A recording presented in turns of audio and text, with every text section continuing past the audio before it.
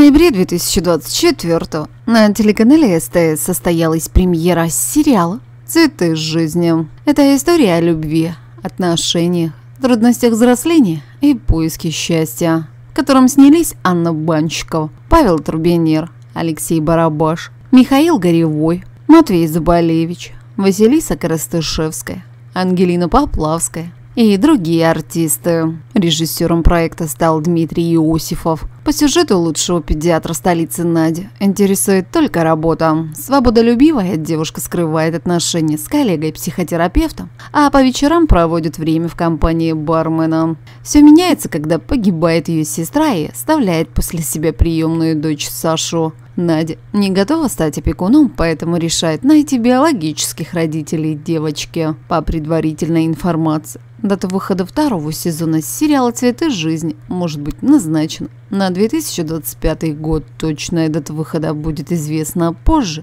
Подписывайтесь на канал и будете в курсе всех событий о любимых сериалах.